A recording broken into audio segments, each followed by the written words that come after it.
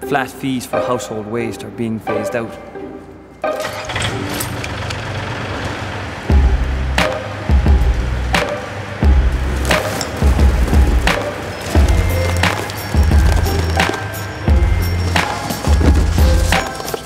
And they're being replaced with flexible payment plans.